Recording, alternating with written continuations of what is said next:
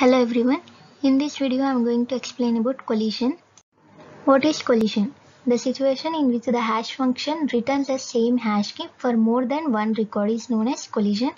Let us see the example. Consider the values 131, 44, 43, 78, 53 and the given table size is 10.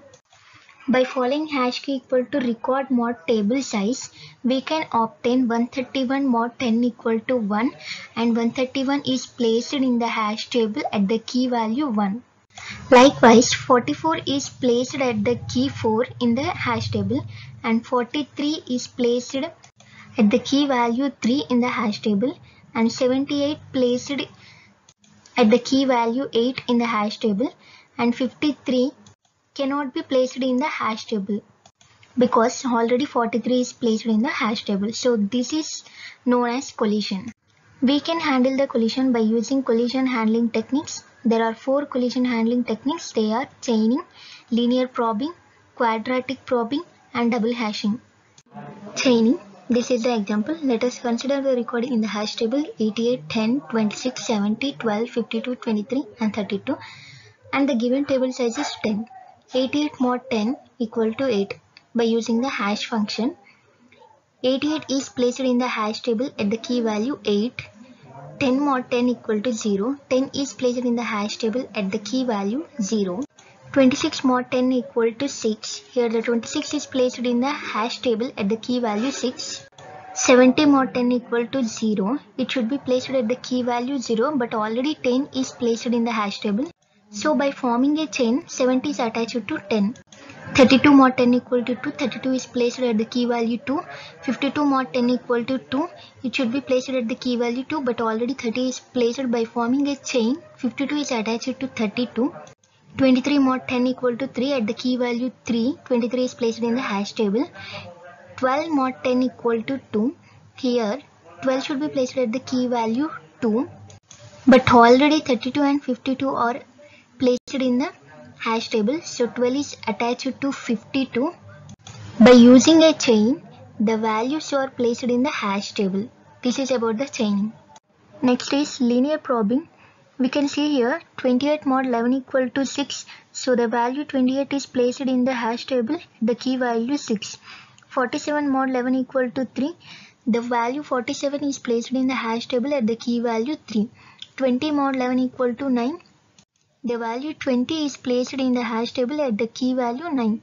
36 mod 11 equal to 3. It is not placed at the key value 3 because already 47 is placed in the key value 3. So it is placed in the next key value. The next key value is 4. So it is placed at the 4. 43 mod 11 equal to 10. The value placed in the hash table at the key value 10. 23 mod 11 equal to 1. The value is placed in the hash table at the key value 1. 25 mod 11 equal to 3. We can't place the value because already 47 is placed. It goes to next key value. Here 36 is placed. So again it goes to next key value that is 5. It is empty. So 25 is placed in the hash table at the key value 5. 54 mod 11 equal to 10. The key value is 10 but we can't place 54 already 44 is placed in the hash table. So it is placed in the next empty key. So here 0 is empty. So 54 is placed at the key value 0 so this is about the linear probing. Next is quadratic probing. Here we use a formula h of key equal to hash of key plus i square mod m where m is table size and i is a value 0 1 2 up to infinity this is the example for quadratic probing. The table size is 11 by using the hash function 20 mod 11 equal to 9 where 20 is placed in the hash table at the key value 9. 30 is placed at the key value 8. 2 is placed at the key value 2. 13 should be placed at the 2 but we can't place because already 2 is placed. So by using the formula 2 plus 1 square here 1 is the i that is equal to 3. So 13 is placed at the key value 3. 25 mod 11 equal to 3. Again we can't place because 13 is placed. So by using the formula 25 is placed at the key value 4. Next 24 should be placed at the key value 2 but already 2 is placed so by using the formula 2 plus 1 square that is 3 already 13 is placed so the i value is incremented. 2 plus 2 square that is 6 6 is empty so 24 is placed at the key value 6 next 10 is placed at the key value 10 9 should be placed at the key value 9 but already 20 is placed so the value is incremented. That is 1 square. 9 plus 1 square is 10 already 10 is placed.